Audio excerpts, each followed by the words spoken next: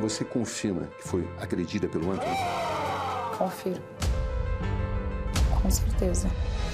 O que aconteceu em Manchester, no seu apartamento com ele? Briga por causa de ciúmes.